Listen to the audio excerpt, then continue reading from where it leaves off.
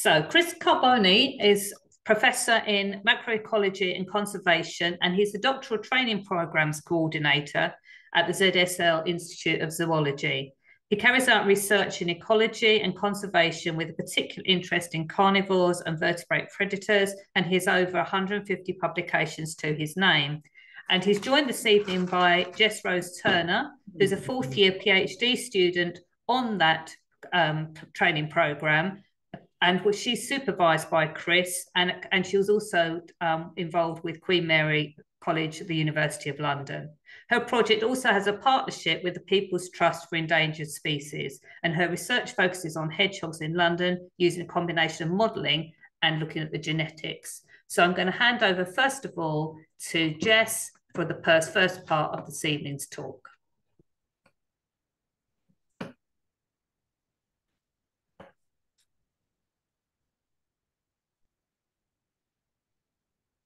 Okay, hello everyone. Uh, I hope you can all see my screen.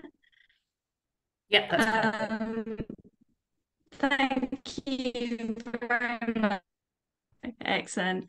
Uh, thank you very much for this opportunity to share my work with you tonight, uh, which I've been looking at the impact of urban environments on London's hedgehog populations. So this evening, first, I'm going to give a bit of a background into why it's useful to use genetic approaches to study urban wildlife. And then I'll talk about the methods that I've used during my study and also some of our key findings. So cities like London form very distinctive ecosystems. And on one hand, these can present many challenges for wildlife populations, with high levels of pollution, noise, and light disturbance, as well as densely built infrastructure such as roads and buildings, and also high numbers of people. But at the same time, there are also many opportunities for wildlife, such as high food availability, fewer of the large predators that are less able to tolerate human presence, and also a wide range of varied habitat uh, opportunities. And together, these really highly dynamic and highly modified environments exert strong pressures on the wildlife that live within them. And this can lead to many and varied changes in these photographs on the slides. Uh, this squirrel is eating some possibly quite unhealthy uh, human waste food from out of a bin. And this fox is also behaving quite boldly by sitting at somebody's table and also by being out during the day. And so, understanding how wildlife are being impacted by urban environments will have a very important role in promoting healthy and sustainable biodiversity in cities for the future. And a key uh, particular challenge that urban wildlife can face is habitat fragmentation which uh, can be extremely severe, as you can see in this photograph of East London. And if I were to highlight the green spaces in this picture, you can see that they're quite small and separated by a dense matrix of roads, buildings, and railways. And for highly mobile species like birds, who, which but for many small animals that rely on natural green spaces and are less able to move through this built up environment, it can have very strong and detrimental effects on their populations. And I'm just going to illustrate this using a hypothetical population, um, which start by being very widespread in the landscape, but can then be increasingly restricted to the remaining uh, patches of green space habitats. And as these can only support smaller populations, the small populations are at, are at an increased risk of a process known as genetic drift, in which the genetic variation that you find within populations can randomly um, vary and become lost uh, completely or fixed within populations over time. Uh, and through this, you can end up with uh, populations with reduced levels of diversity, which is quite concerning for their conservation because uh, population genetic diversity is important for them to be able to, same time, as there are fewer individuals within these populations, you can also end up with higher levels of inbreeding uh, as there's fewer potential mates, which leads to less healthy individuals as well. And these populations may also be uh, more isolated as it's harder for um, them to move between these green spaces, such as barriers, uh, as they face barriers such as high fences or roads. And this means that the introduction of new individuals and new genetic variation to these populations is reduced and can even lead to the populations becoming more dissimilar over time as the different characteristics in another. And this process is described uh, by the urban fragmentation model, which I'll explain as it helps to provide a framework to understand the work that I did in this study. And this predicts that as you go from a non urban natural landscape into urban environments, the genetic diversity within wildlife populations decreases as they have smaller population sizes and higher levels of genetic drift, which is a process through which genetic diversity can be lost. On the other hand, um, the differences between them are expected to increase as the connectivity and movement between the populations is reduced. But how does this relate to what we see in hedgehogs? And it still remains uh, quite uncertain how the urban environment is impacting hedgehogs, as there's been very little previous work into this. And the studies that have been done have been quite contradictory.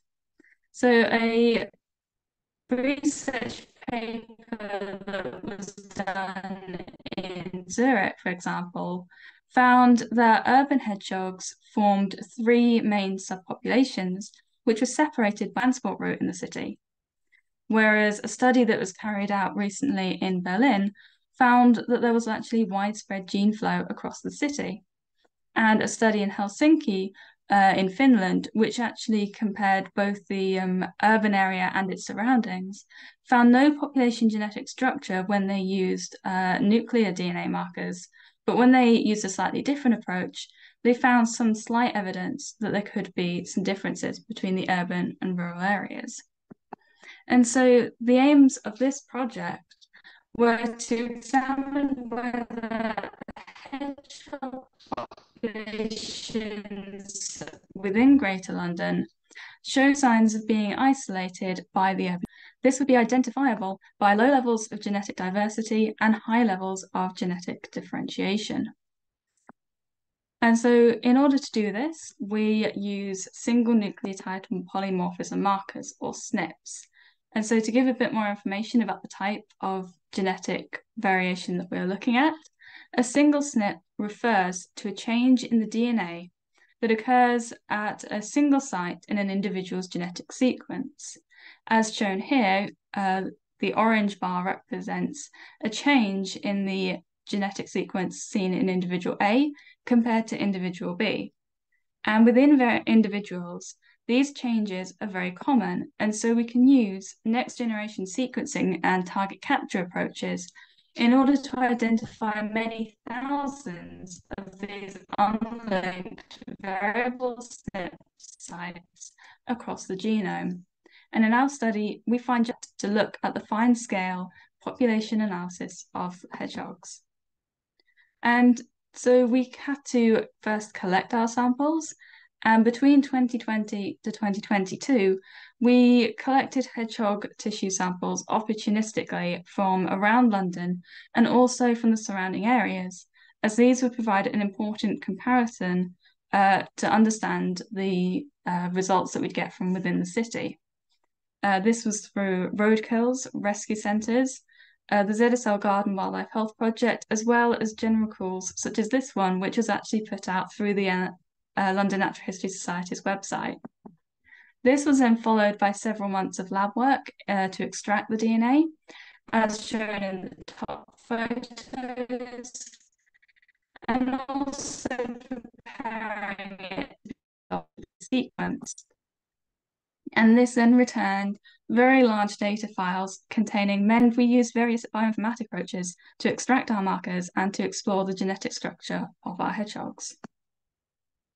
So overall, we obtained just over 100 samples, uh, which we analysed both for the region as a whole and for a subset of eight local populations.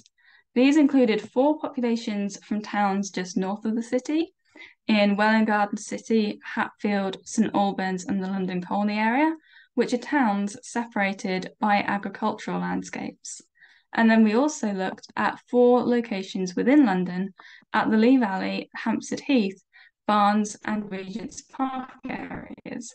And these are separated by much more densely built up urban environments. So first, we then we looked at how genetically diverse our populations were by comparing the observed heterozygosities and expected heterozygosities within each population. And the heterozygosities is just um, a measure of the genetic variation that we see in the populations. And so we can see that within our four London sites, that there is uh, much lower levels of genetic diversity compared to the sites north of London, where it's quite high and quite stable among populations. We then looked at each pair of populations and compared how different they were um, compared to all of the other populations. And that's shown in this uh, plot here, in which um, the colours indicate the level of differentiation between the populations. So um, blue indicates that the populations are not very different from each other, and red indicates uh, that there is a much higher level of difference. And we can see here that the four populations outside of London showed very low levels of uh, differences between them, whereas the populations within London show very high levels of genetic differentiation. And in particular, I can point out Regent's Park population, which is the most central of our London hedgehog populations and shows very high levels of differentiation uh, from all of the other populations that we studied. We then looked across the entire region uh, using a software called Structure, which is widely used in population genetics analysis and assigns individuals quite a broad indication of the change in population genetic variation across the study area. So Regent's Park was found to be an outlier and so has been excluded from this for ease of understanding. But amongst the remaining uh, samples from our dataset, we can see that there are seven potential popu major population clusters that are identified. As you go further north across our study area, you get more of the um, orange indicating it's cluster four. And as you go further south of London, you get more of this pink uh, population cluster, uh, which is cluster six. But also in the middle, you can see that within London, you get quite distinct areas of green, blue, and yellow, which align with our Hampstead, Lee Valley, and Barnes area samples, as well as areas just north of this where we have quite where we have some more sort of blue and green. However, as each pie chart on this map represents one of our individual samples, you can see that many of the individuals belong to a mixture of two or three different uh, colours which indicates that it's being assigned to two or three or maybe even four of the different populations by the software. And this is quite interesting as it suggests that rather than forming very distinct clustering across, and so rather than forming very distinct and defined clusters across our study area, there's more of a gradient of change in the genetic variation as you move sort of between south to north across our study area. And so I mentioned that Regent's Park was excluded from this analysis as it was found to be very genetically different from all of the other populations and samples that we had in our um, so that we had in our data set. And why is this? Uh, so Regent's Park is known to be the last remaining stronghold of a central London of hedgehogs in a central London park. And they've been lost from most of the other central parks um, over the past 50 years. And it's likely that this population is representing um, a population that's experiencing an extreme level of urban pressure and isolation. as this habitat suitability map uh, produced, if I overlay this so with a habitat suitability map that I produced using citizen science records at the start of my PhD, where green represents areas of high habitat suitability with low habitat suitability, we can see that Regent's Park itself, though is a though it is a good habitat for hedgehogs, is surrounded by areas that are much lower suitability and possibly quite challenging for hedgehogs to move between. Fortunately, however, this particular population is quite well monitored, and so this will allow uh, management to be able to be implemented and address this. And so, to conclude, these analyses uh, presented here show evidence that the hedgehog populations within London are being impacted by habitat fragmentation, with reduced genetic diversity and lower connectivity, uh, particularly in the Regent's Park population in central London. And these findings are quite relevant for uh, ensuring uh, hedgehogs' uh, conservation within Greater London, as it indicates that and maintaining strong connectivity uh, among suitable habitat will be important for their long-term viability. However, it's also important to note that there's also a lot more future work that needs to be done to understand further complexities in these patterns. Uh, for example, with much larger sample sizes and greater coverage of more areas of London that will also be important.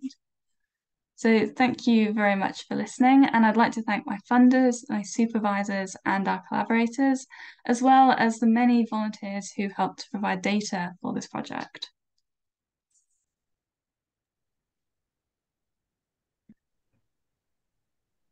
Thanks very much, Jess. That's really yeah, that's really fascinating. We're going to hold any so please put chats, put questions into the chat, um, we'll what we'll do is we'll wait till the end after Chris's presentation, and then we'll uh, address all the questions then. But do pop things in. Um, I'm I've already got a couple of questions that I might try and sneak in. So if you could stop sharing now, Jess, that'd be great. And then we're going to hand over to Chris.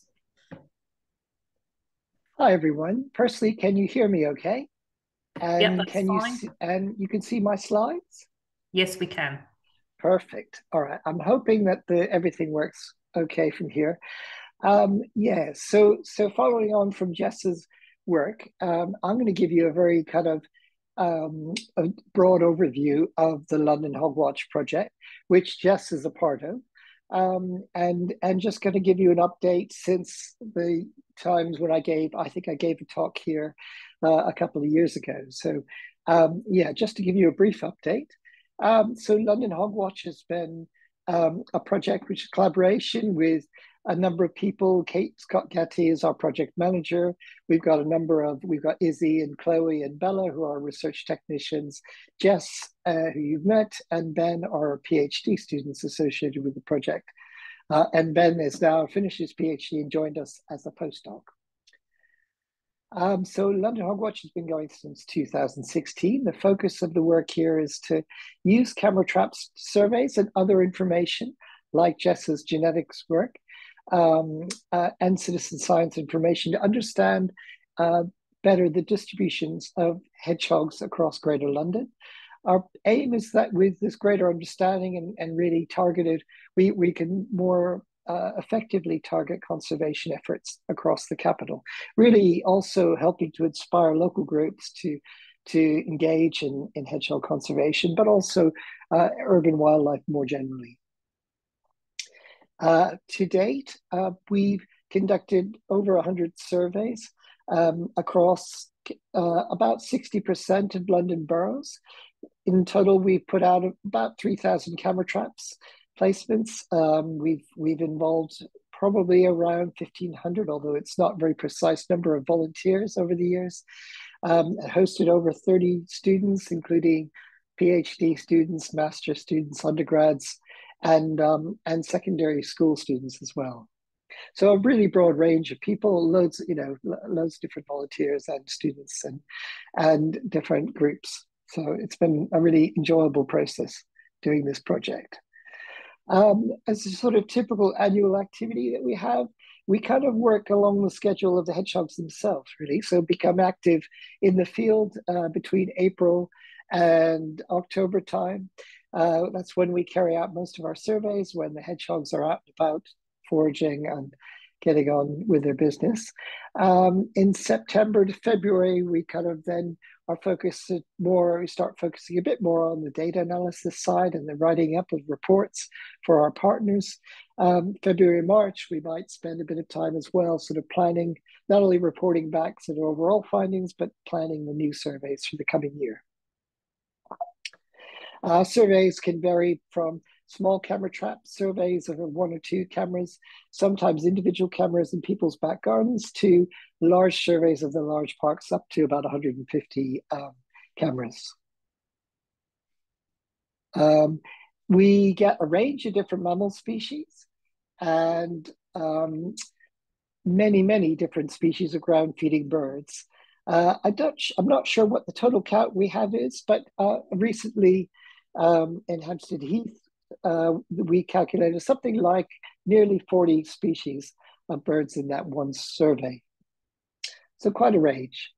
So this allows us not only to get hedgehog presence and absence, but also many other species, which in turn may affect the hedgehogs themselves, but also give us a broader understanding of wildlife in, uh, in urban settings uh, it can be used to look at species interaction, broader general biodiversity. It can be used also uh, to understand the relationship between people and wildlife in urban parks. Humans are by far the most prevalent common species in our record, um, and, and we can use this data to understand and interpret how wildlife coexists with humans, where they might avoid them in certain areas where there's a lot of human walking around and a lot of acti- human activity, or whether they might adjust time periods of activity or locations of activity at certain times of the day um, to minimize, uh, you know, having to be disturbed by them. We even get extraordinary sightings. Like a few years ago, we found uh, a pine marten in Kingston in southwest London. Pine martens. This was a, a sighting that was probably the first of its kind for over a century uh, in Greater London. So it was really quite extraordinary and attracted quite a lot of interest in, um, in the UK press. Now, Jess very well explained how, you know, human, uh, habitat fragmentation is one of the key sort of threats to urban hedgehogs. And I just wanted to give you a very specific example. She's already mentioned that Regent's Park is the most central breeding population in London that we know of.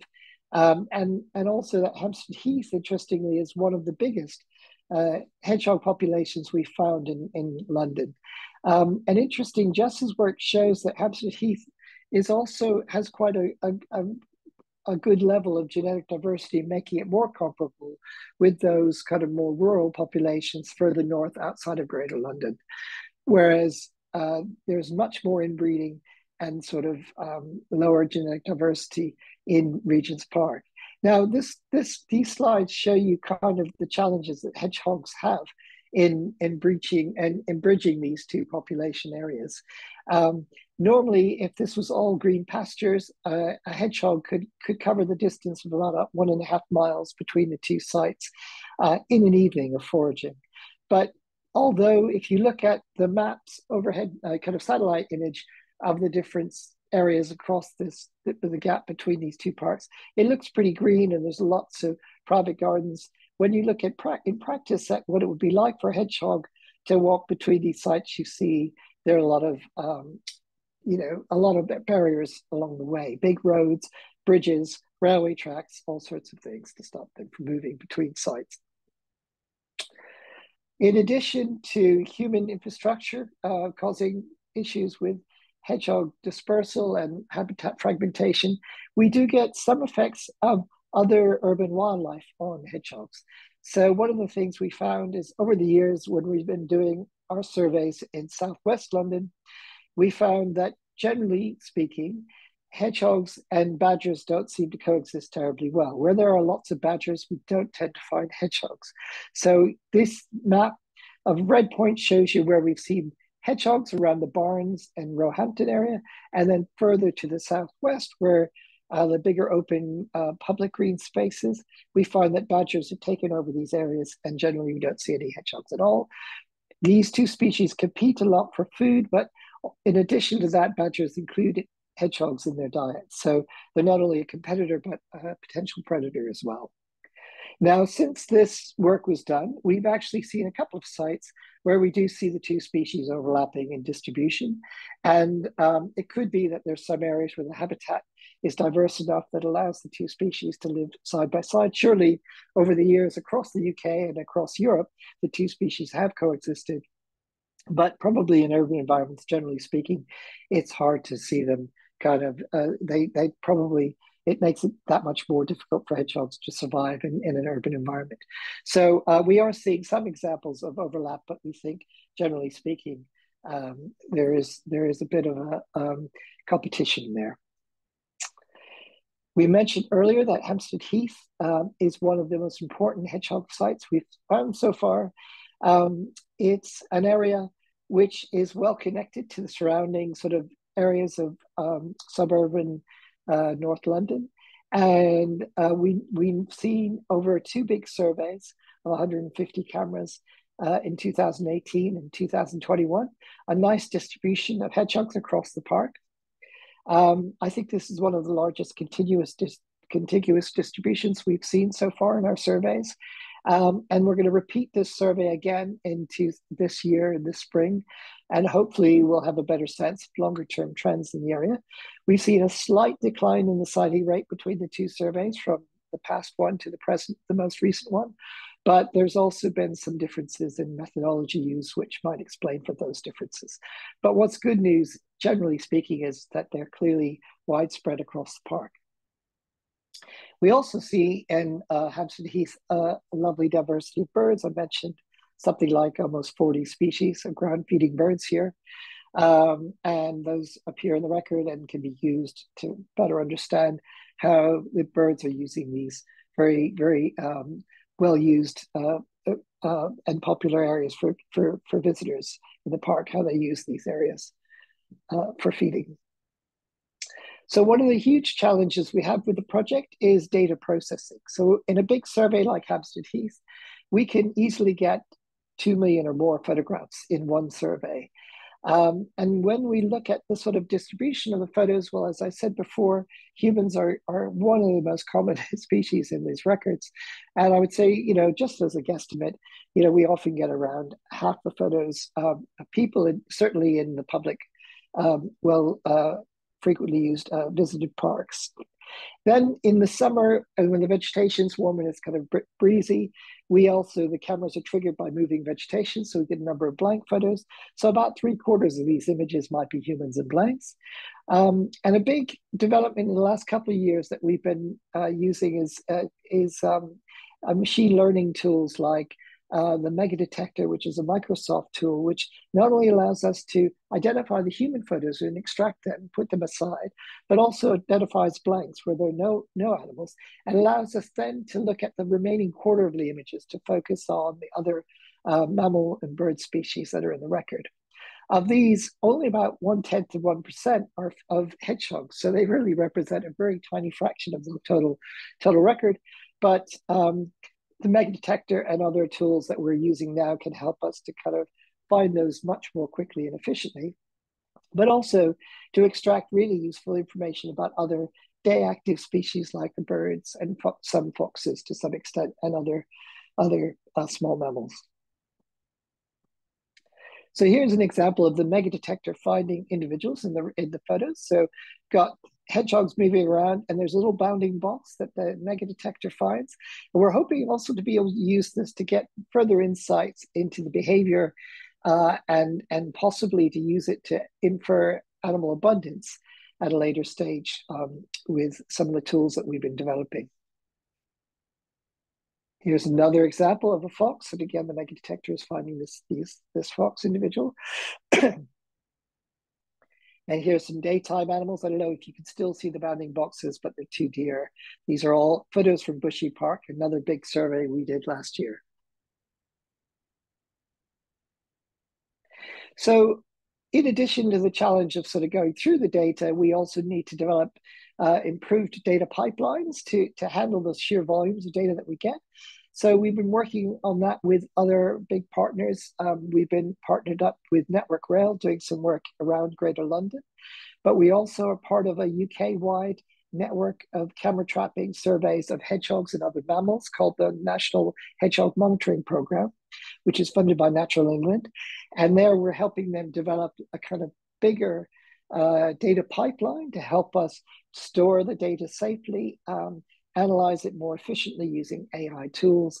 You know, also engaging some public um, websites like, well, this I've got Instant Wild and Zooniverse here, but with the mammal, uh, with the National Hedgehog Monitoring Program, we're using MammalWeb as well, uh, which can then all feed into sort of the analysis, which give us ecological insights on the long-term population trends of hedgehogs and other species.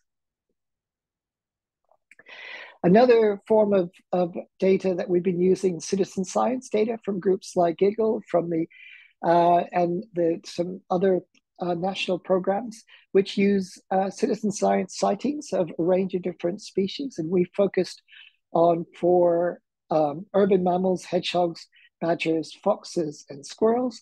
And uh, Jess has been involved in, in one of these, in this work, using um, these data along with habitat data and habitat features she referred to it in her talk to come up with a habitat suitability maps. And what's really interesting is these highlight in the red areas, areas that are thought to be the most suitable sites for, for that species uh, in Greater London. And what you find for for hedgehogs and badgers is that they tend to be the most favored sites tend to be out in the more residential areas outside the city, the built up city center. So they have a sort of donut shaped area of habitat suitability around the edge of central London. Whereas for two other species, which are clearly very well adapted to urban environments, foxes and squirrels, it's almost the opposite. The models actually predict the best spaces for them to be are right near central London. I'm not sure whether I completely uh, uh, believe these models, and but but they, in terms of you know, the, the very best places for foxes and squirrels are right in the center, but it just shows you how well adapted these animals are for urban environments. And again, this works well with understanding or using our camera trap data to interpret and understand better where these animals might be and helps us target future surveys. We've also been doing a lot of work with reaching out to the public about the kinds of work we do. So Kate, here's Kate Scott Gatty, who is our um, project manager I mentioned earlier, and she was part of a video, which was part of the British Library's exhibit of uh, animals, art, science, and sound. Um, and she featured there with this, and actually you can see a, a photo of, with Jeff Fargo, who works a lot with us as well in Hampstead Heath and around the area. And uh, yeah, so this was a, a really nice exhibit uh, showing off the work of London Hogwatch. So with that, I would just like to close by thanking my team, the wider team, including Jess and the others, um, in their efforts for the project. Our partners, which are manyfold, um, and apologies if I missed anybody out, we, we struggled to get all the people in one slide. And our funders, with a particular thanks to the British Hedgehog Preservation Society, or BHPS, who have been our long-term funders and very important parts of uh, part of our, our project. Thank you very much. That's that's it.